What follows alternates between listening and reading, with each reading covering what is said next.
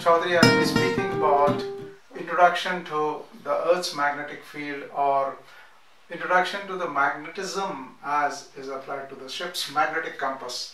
So now in a study of this magnetic field, let us first try and understand what are these poles.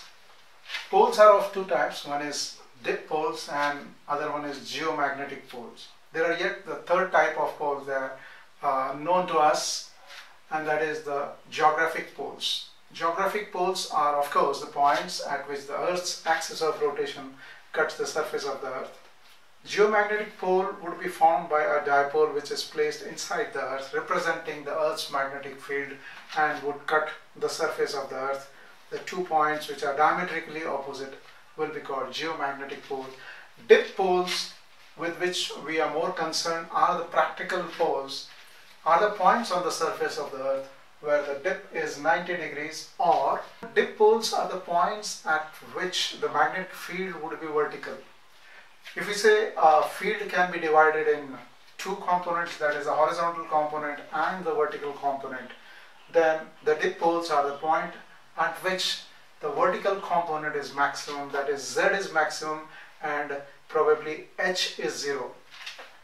On the other hand, magnetic equator will be represented by a line on the surface of the earth where Z would be 0. Now when we want to understand the magnetic effect on the magnetic compass, we must understand that there are two types of material on board. One is soft iron which gets induced magnetism and other one is hard iron which gets permanent magnetism. Now this permanent magnetism is set within the ship at the time of construction when the ship is at the yard. Now this permanent magnet will sit in within the ship depending on on what direction the ship was built. For example, if the ship was built like this or a yard like this, the ship's magnet will make a blue here, red here. So accordingly, we can say there is a blue pole aft, there is blue pole on the starboard side, there is red pole forward and red pole on the port side.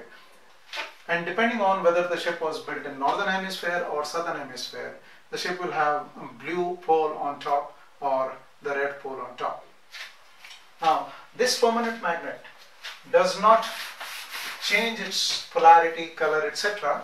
when the ship goes from one place to other place. My today's talk I will basically dedicate on the induced magnetism.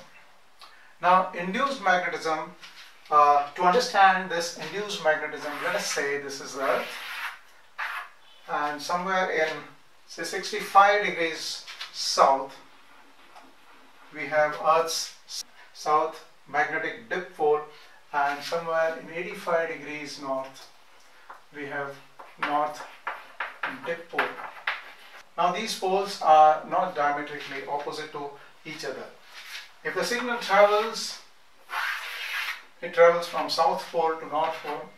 So if you have a ship in southern hemisphere or if you have a ship in northern hemisphere, let us see what is the difference. In southern hemisphere, the signal enters the keel first and wherever the signal enters the ship, it will make that area blue. So can we say the ships in southern hemisphere have got blue keel and red deck. And if we have and if we have say funnel or mast then these masts will have or the funnels will have the red top. Whereas in the northern hemisphere if you have a funnel here or a mast here it will have blue top.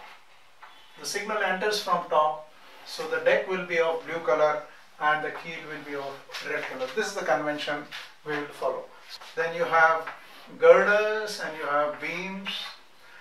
Now all these will make induced magnets. The induction will set in and as the signal travels from south to north, wherever it hits these components first will make blue pole or the other side of these conductors, the red pole will be formed.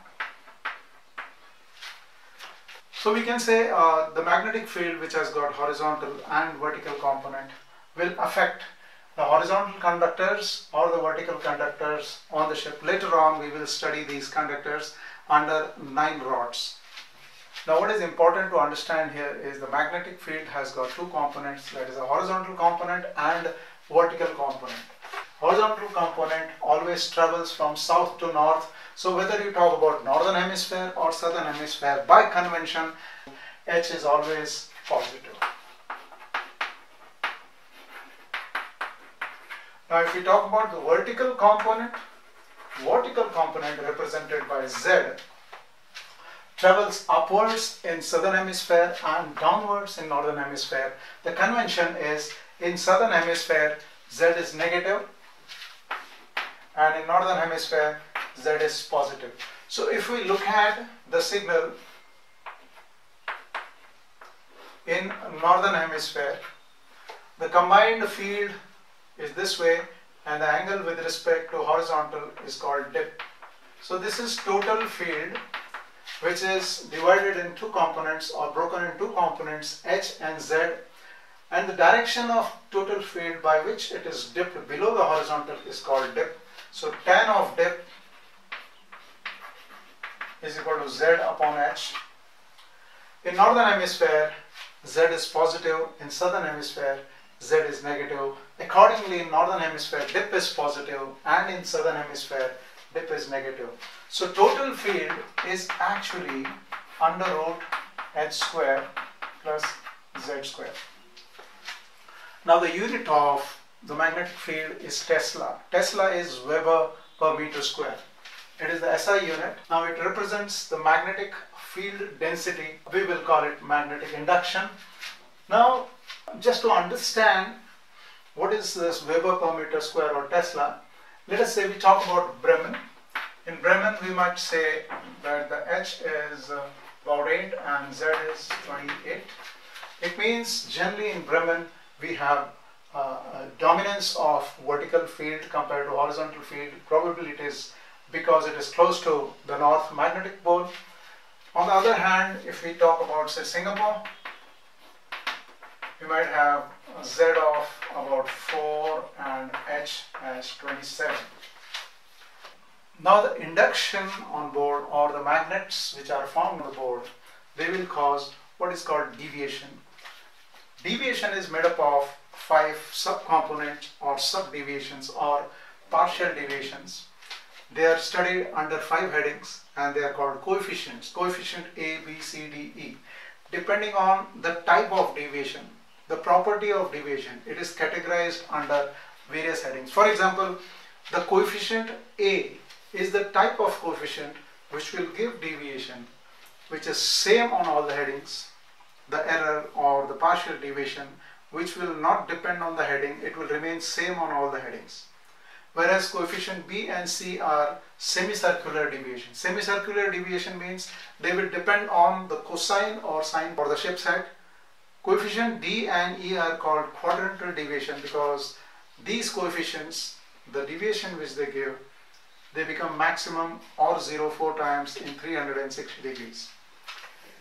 Now deviation is one kind of error and variation is another kind of error.